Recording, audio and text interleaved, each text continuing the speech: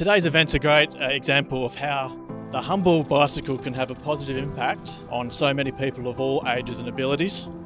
I think many of us are aware of some of the tragic circumstances that surround cycling deaths on our roads in Western Australia.